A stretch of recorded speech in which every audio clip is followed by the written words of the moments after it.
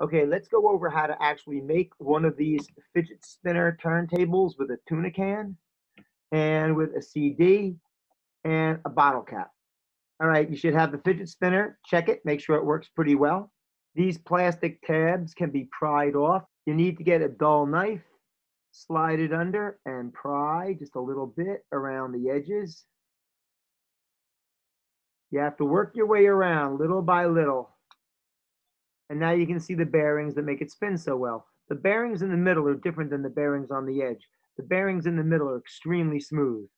When you hold the plastic, it's pressed into the middle, and that middle bearing stays still, and it's the outer race that moves. What's nice about the tuna can is that the fidget spinner fits inside here pretty good. You need the cap up so that it can rest on the floor.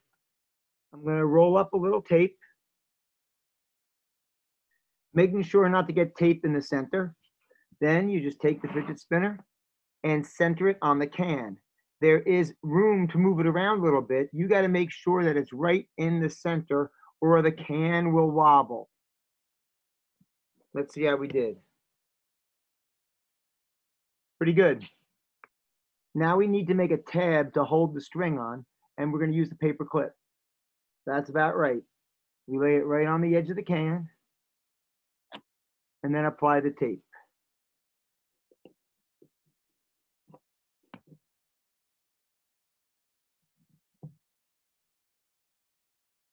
All right, there we have it. Now I've taken some thread, tied a loop in one end, taped a quarter to the other end, and then I can hook the loop onto the paper clip and wind it up. The quarter is just draped over the edge of the table a little bit of friction here, but not much. It's pretty thin thread. Let's see how it works.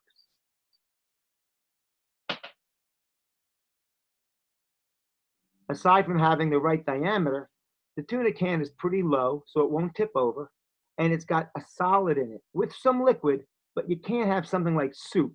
The can will spin and the soup won't turn. So you want something solid in there.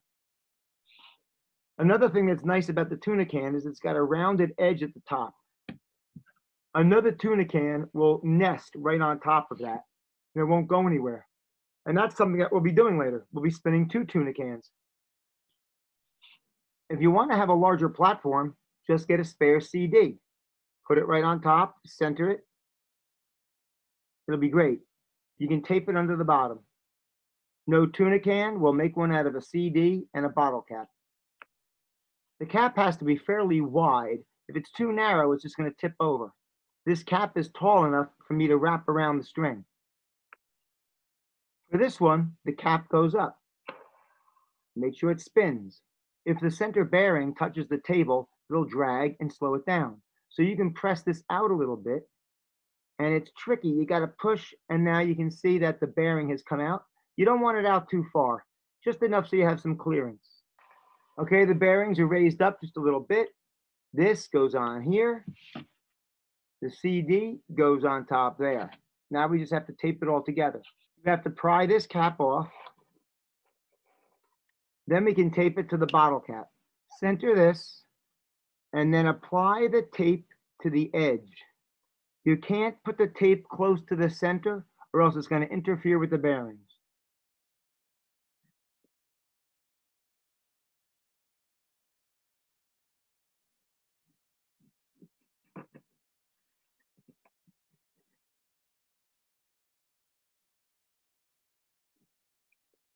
Okay, I got it all taped up.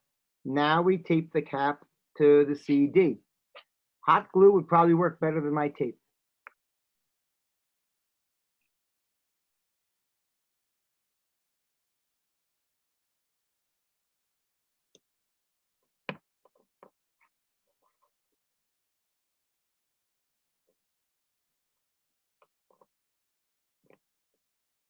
It's on there pretty snug and centered.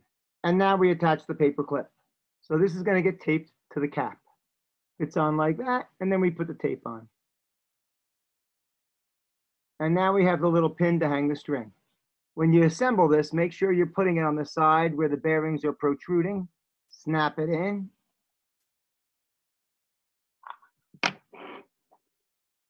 And there we have it. if they're not in right, you can adjust this by pushing the bearings in and out.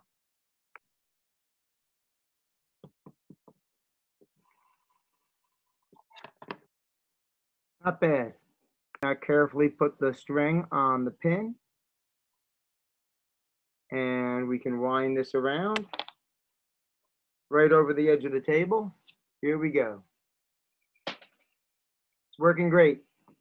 Since the disc is totally uniform, it can be hard to see where it's going. Uh, sometimes I put a flag on here like this and put a dot with the marker. Makes it way easier to see. Now, if I was going to put a stack of quarters on here, I'm going to apply a little tape. I just roll it up a little bit, put it right on the edge, and then the quarters can stick to that so that they don't go flying off when we spin it around.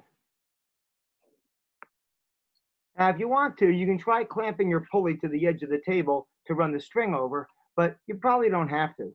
I know there's going to be some friction here, but whatever friction you have is going to be the same amount of friction when you put the quarters on here and you do the experiment with the quarters. And then when you do the subtraction, it's going to come out.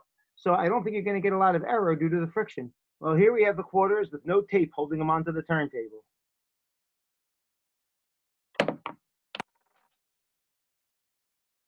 Have fun.